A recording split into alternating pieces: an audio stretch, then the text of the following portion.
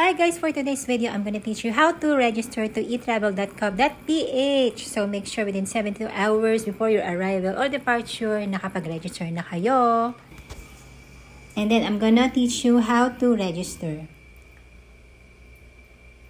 So ayan, register lang po tayo. So um, click nyo lang kung uh, Filipino passport kayo or foreign passport.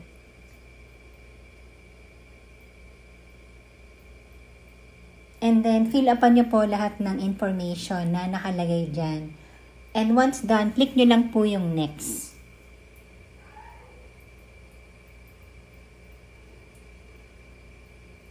So, make sure uh, lahat po ng information na nilalagay natin ay tama para hindi na tayo mag-edit later on. And make sure valid email address po yung ilalagay natin.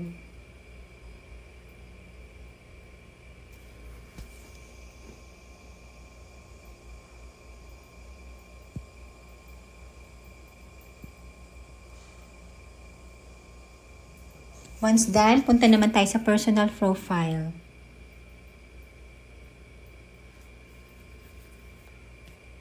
So, ilalagay nyo po yung inyong first name, middle name, and last name.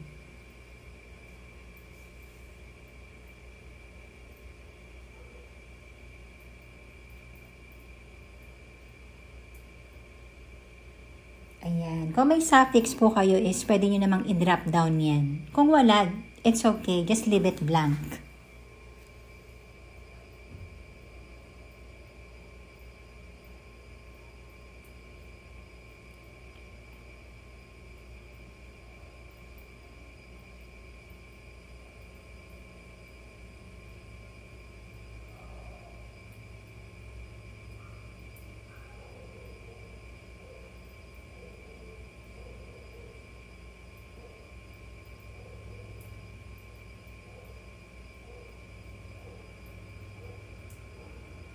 So, pag nailagay nyo po lahat, click nyo lang yung next.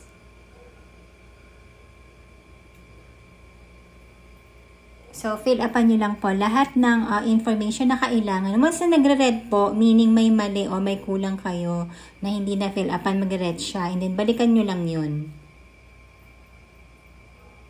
And once okay na, click nyo lang po yung next.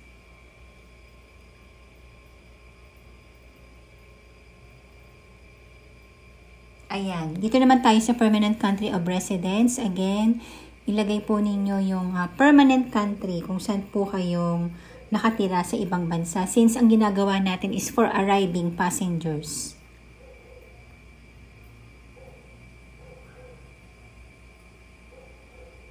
So, fill upan lang po natin lahat ng inform information na kailangan. So, itong um, QR code na to is for arriving and departing passengers dito sa Pilipinas. So, um, upon boarding, ito po yung hahanapin sa inyo, yung QR code. So, it's very important na within 72 hours before your departure or arrival is nakapag-register na kayo sa etravel.com.ph. And then, ang hahanapin na lang sa inyo upon boarding is yung screenshot ng inyong uh, QR code which is late, later on, ipapakita ko sa inyo kung paano yung itsura niya.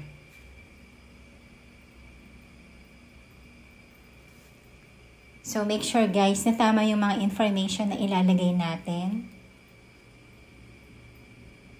And then, click nyo lang yung next.